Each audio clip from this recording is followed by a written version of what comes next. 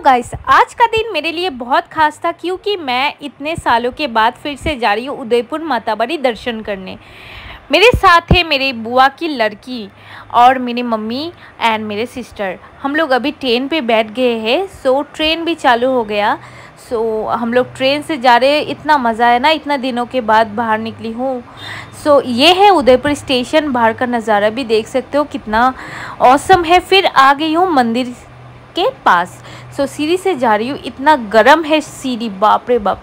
अगरबत्ती लेते हुए मैं दर्शन कर लिया है। सो so गाइस बहुत मज़ा आया। आप लोग जो जो त्रिपुरा में हो वो तो उदयपुर आती रहते हो। जो भी नहीं हो त्रिपुरा से बाहर हो ज़रूर आइएगा। त्रिपुरा में ये त्रिपुरेश्वरी माता बाड़ी जो है बहुत नामी दामी है। फिर आ गया हूँ कासिम से मिलने। व फिर आ, सब लोग मिल के फैमिली लंच किया।